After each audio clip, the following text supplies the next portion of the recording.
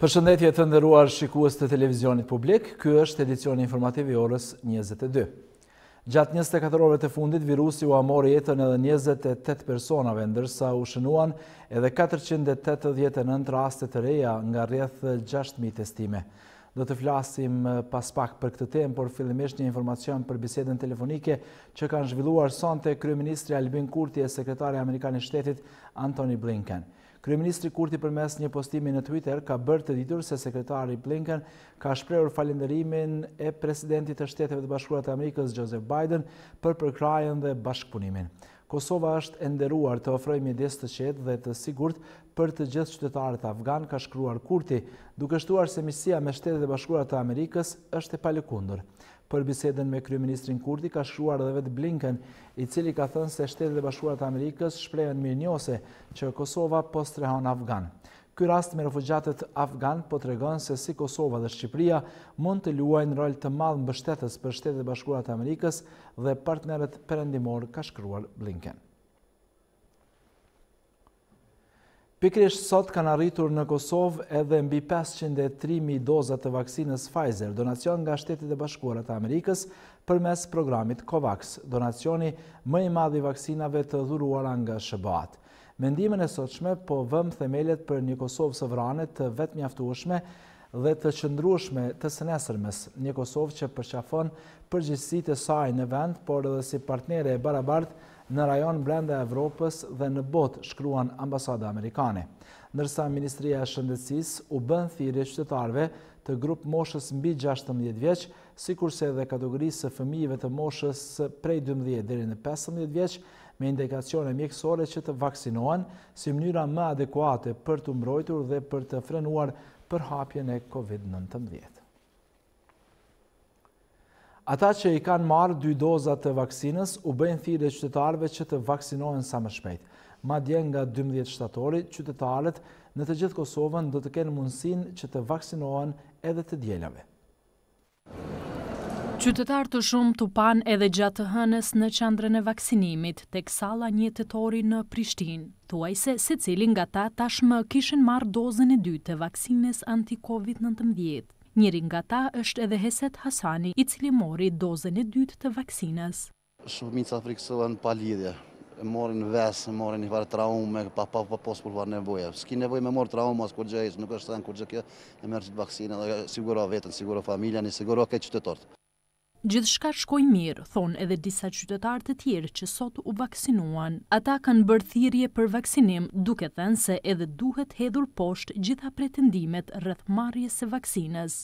Vallai këtu s'ka kurrfarë frike unë s'di pse krejt bota pi merr po ste shqiptart tuten mos i merr mos i merr mos i merr qeveria s'munët askënd me shku për shembull personan mi marr pi shpie mi vaksinu ata vet duhet mi dit. Mjekësia nuk ka vëdallë. Ata pa vëllojnë gjithë, do t'mu vaksinue. Po shihet që është përhapë, vaksinojnë e i thonë çdokujt. Prej fillimit të vaksinimit në të gjithë qytetet e Kosovës, janë dhënë nëntëqind e njëzet e dy mijë e gjashtëqind e njëzet e tre doza të vaksinës, ndërsa sipas vendimit të qeverisë nga data dymbëdhjetë shtator vaksinimi do të fillojë edhe të dielave. Në klinikën gjinekologjike aktualisht janë të shtrira 16 paciente të infektuara me COVID-19, 6 prej tyre me oksigjenoterapi dhe një në gjendje të rëndë. Kështu ka bërë të ditur drejtori i klinikës gjinekologjike Jakup Ismaili. Sipas tij të gjitha shtatzënat me COVID në format më të rënda kanë qenë të pavaksinuara.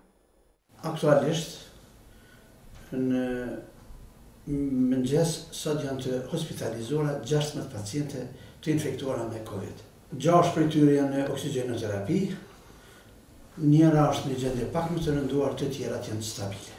Të gjitha shtatzonat frekuentohen në Klinikën Obstetrike Gjinekologjike dhe për atë arsye del një shifër pak më e madhe se është Është, nuk kisha thënë që është një numër pak më i madh, mirëpo vdekjet te shtatzonat bëjnë jehonë pak më të madhe për shkak se një shtatzonë ka edhe edhe fëmijën brenda në mitër, kështu që unë kam përshtypjen që është numri numër proporcional me të vdekurit e tjerë.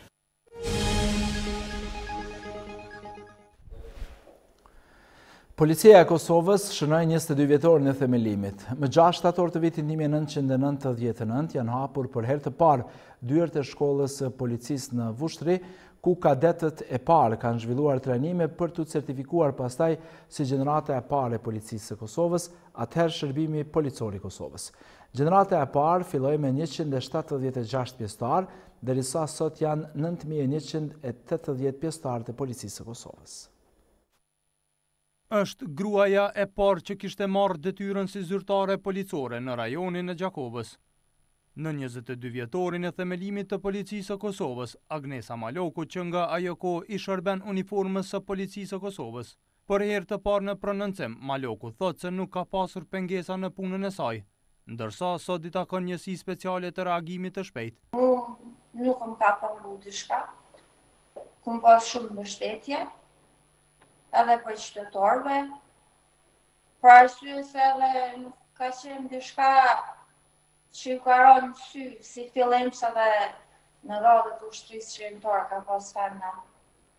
të cilët aty në bashkan gjithë, shtu që edhe në polici njëjtë.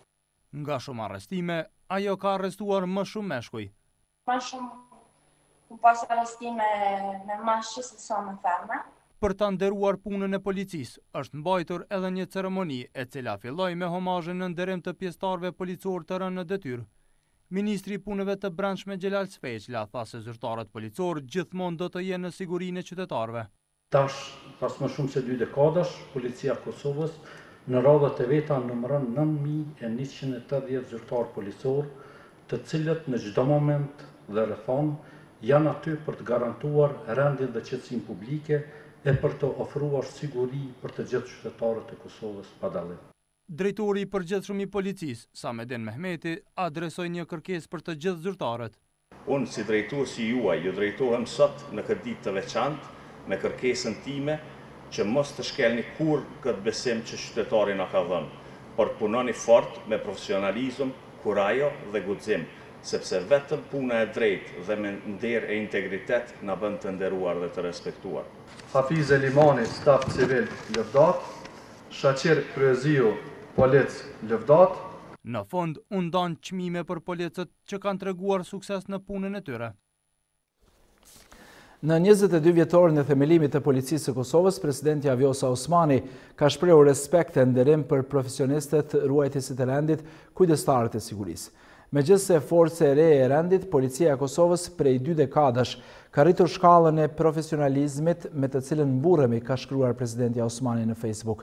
Tutje Osmani ka shkruar se gra e burra të Policisë së Kosovës janë shembulli i përkushtimit dhe devotshmërisë ndaj shtetit dhe për këtë ka thënë se shteti u është mirënjohës. Ofrimin e sigurisë publike në tërë territorin e Republikës së Kosovës duhet ta kemi synim të çdoditshëm, ka thënë Osmani.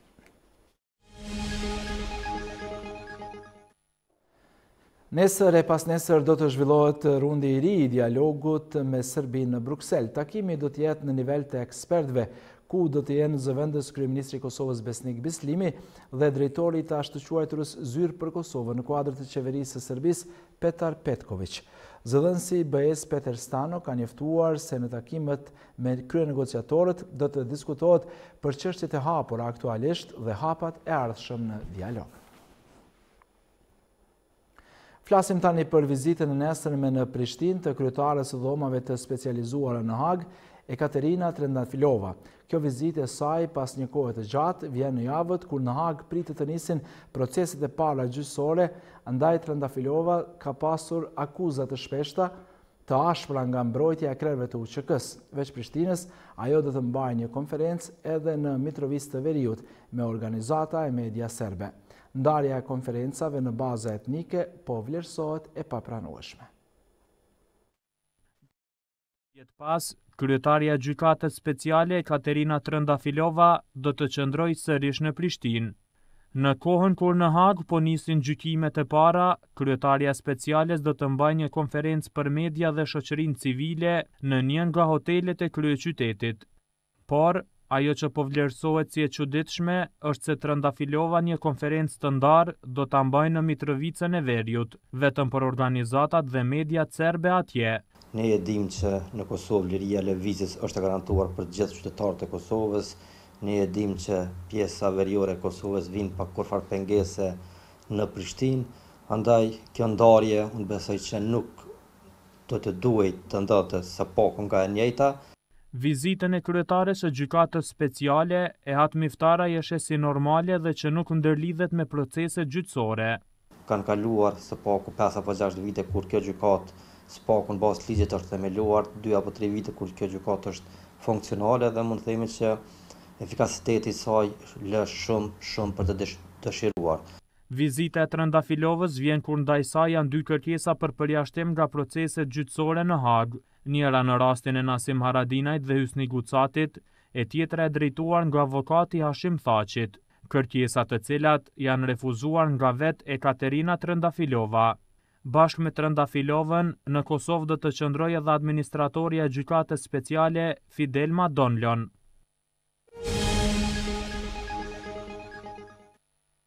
Tani një lajm për bujqit, të mërkurën shpallet thirrja për aplikim për subvencione për vitin 2021.